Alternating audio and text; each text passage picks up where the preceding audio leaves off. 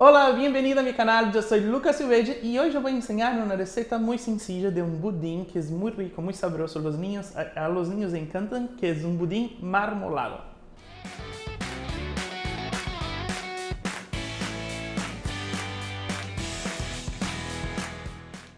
Para começar, então, vamos a poner no bol de la batidora seis claras de huevo.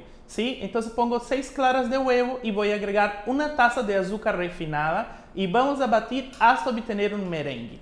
Después de eso vamos a sacar de la batidora y vamos a reservar estas claras de huevo. Acá un chip que yo te doy es que no es necesario que usted, eh, limp usted limpiar, lavar la, la, la, el bol de la batidora, ¿sí?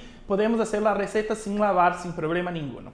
Y ahora vamos a poner acá 6 yemas y también vamos a agregar media taza de azúcar refinada. Y vamos a batir bien, ¿sí? Hasta que doble de volumen. Después vamos a sacar de la, de la batidora y vamos a agregar aquí eh, eh, media taza de la leche de vaca en temperatura ambiente y 200 mililitros de la, del aceite. Este aceite, yo utilizo un aceite de maíz un aceite de girasol, ¿sí? 200 mililitros del aceite. Después de eso, que yo agregué bien esto, estos ingredientes, vamos a poner 3 tazas de harina de trigo y una cucharada de polvo para hornear.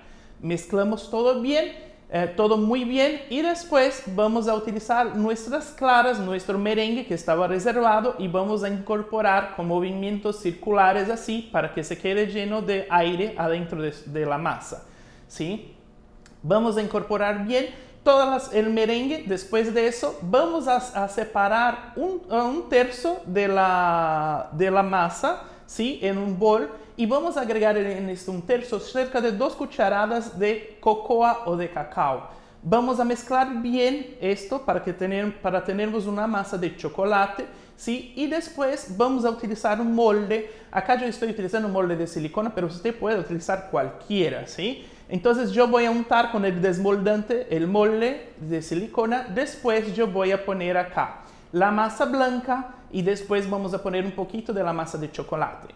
Y vamos a hacer este movimiento como para mezclar, para marmolar un con el otro, ¿sí? Y vamos a hacer haciendo así en las cavadas eh, el pastel.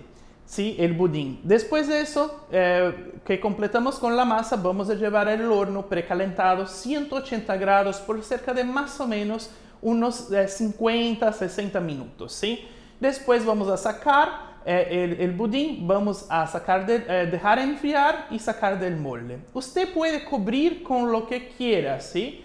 Pero acá mi sugerencia es que yo voy a derretir una cobertura fraccionada como de chocolate, tipo chocolate, y voy a derretir el, negro y también el blanco. Y después voy a poner una camada de chocolate negro y después un poquito de chocolate blanco para que la cobertura también se quede así como un poquito marmolada, ¿sí?